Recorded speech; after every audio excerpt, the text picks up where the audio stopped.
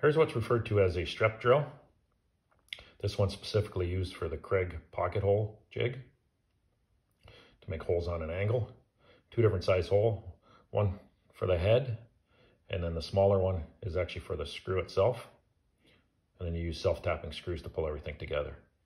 The silver part here is a collar, and it'll set the depth of the cut. Here we got another drill, similar to a Forstner type style bit, slightly different. Uh, carbide cutters on it, so it'll last a long time. This is meant for cutting holes for European hinges. It's a 35 millimeter. This here is a combination drill. This has a countersink on it.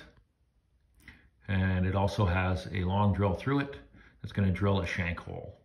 These are plug cutters. These are used in combination with your combination drill or countersink. What they do is they'll cut a plug, a tapered plug, that you can drive into the hole to cover up the screw. You can cut it off afterwards, sand it away, and it'll pretty much disappear. This is a typical countersink. What this does is this allows for any screws that you have that have a taper underneath the head. It allows you to put them just below the surface or further in, generally uh, 3 eighths of an inch, which will allow you to put a plug in them and cover them up. Here I have a typical drill gauge. This allows you to find out what size bit you have, whether it's the right size for what you want. In order to check it, what you do is you would, doesn't fit in that hole, slides up to the next hole, it slides right in, and you know by what's written on there, it's a 15 64th drill. Here I have a set of hole saws. They're put into a drill. They can do a variety of different size holes all the way up to six inch. Uh, the one to the far right uh, pretty sure was for doing a, uh, set of deadbolts and uh, doorknobs.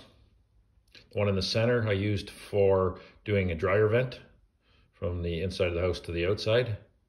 And you can tell by the nice white shiny one to the left that it hasn't been used yet. They generally come in a set.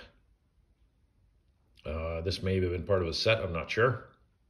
But if you take the piece, and put it on its side here, you're going to see that there's a drill bit in the center. That gets you started. That'll center you on your hole. And then the teeth here are just like a standard saw. And what they'll do is they'll, they'll saw basically a circular curve. There'll be a plug the size of the inside of the cutter that'll be left over afterwards.